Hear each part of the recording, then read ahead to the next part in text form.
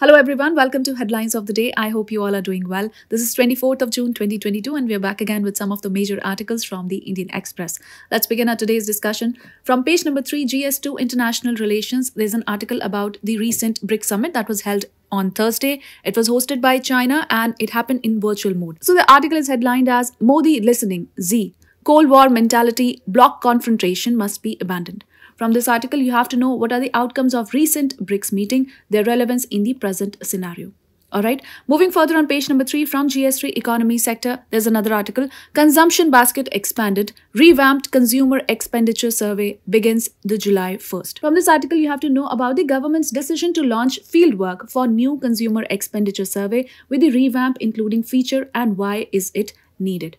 Moving further on page number 10 from GS2 governance sector, there's an editorial article headlined as How to Train a Karma Yogi. So it talks about capacity building for politicians, bureaucrats, that is must for growth. This article is written by Mr. O.P. Agarwal and Nitya Kaushik. From this article, you have to know about the Mission Karma Yogi program, its features, objectives, and why training Karma Yogis at all the levels is a must for inclusive development what is the key analysis and what can be a possible scenario ahead. Moving further on page number 11 from GS3 economy sector, there's an article about the fertilizer pinch. So the article says that India cannot sustain current cost of fertilizer imports. As we know, after the Ukraine-Russia war, there is a fertilizer crunch in the world because Russia has been one of the major exporters of the fertilizers. It must cap its consumption of urea, DAP and MOP. From this article, you have to know about the current cost of fertilizer imports and what India needs to do to reduce its fertilizer bill. Alright, moving further on page number 11 itself from GS3 economy sector, there's an article about soil health. So preparing soil for the future. Now, degradation poses a challenge to food security. The global community must come together and work to reverse it, says the article. This article is written by Mr. M. Venkaiah Naidu. So, this article is written by Mr. M. Venkaiah Naidu. And from this article, you have to know why is the current status of soil health worrisome what is soil degradation and the major causes of soil degradation, what are the consequences and ways to tackle them. Alright, moving further on page number 13 from GS1 Art and Culture, there's an article about the Sao Joao Festival. So, Goa's Sao Joao Festival and why revelers jump into wells and ponds. From this article, you have to know what is the Sao Joao festival and where is it celebrated in Goa. What does the jumping into water bodies symbolize? Further on, what other events are part of the Sao Joao festival?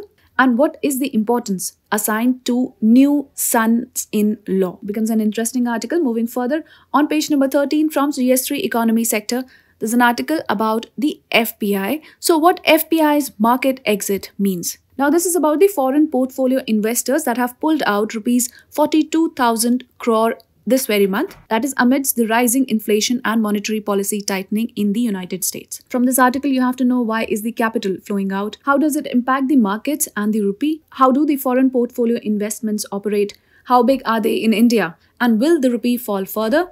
Further on, what should the investors do? Moving further on page number 15 from GS3 economy sector, there's an article about the e-way bill. So the article states that mandatory e-way bills for gold set to be on GST council table. From this article, you have to know what is the e-way bill and why is it important. So with this, we call it a wrap of today's edition of Headlines of the Day, the Indian Express. I hope you liked the video. We will see you with more such videos. Till then, take care and do stay tuned.